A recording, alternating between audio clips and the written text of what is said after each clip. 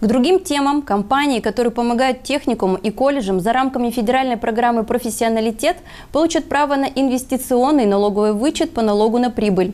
Законопроект, разработанный по поручению губернатора Свердловской области Евгения Куйвышева, поддержали депутаты Законодательного собрания региона.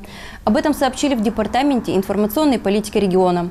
Как сказал первый заместитель губернатора Свердловской области Алексей Шмыков, стимулирование компаний в форме инвестиционного налогового вычета – это процесс двусторонним движением. Регион поддерживает предприятия, чтобы они вкладывались в обновление технической оснащенности наших колледжей.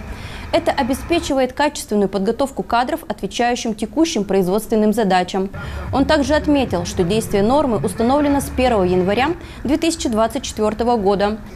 Напомним, ранее по инициативе губернатора налоговую льготу предоставили компаниям, которые помогают в оснащении колледжей и техникумов современным оборудованием в рамках федерального проекта «Профессионалитет».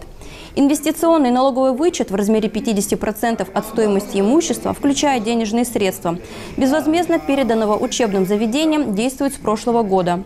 Сегодня к поддержке техникумов и колледжей привлечены 114 работодателей и партнеров. Отметим, что в реализации проекта «Профессионалитет» Свердловская область включилась по инициативе губернатора Евгения Куйвышева два года назад. Сегодня в регионе действует уже 12 кластеров с участием свыше 50 организаций СПО и более 90 предприятий.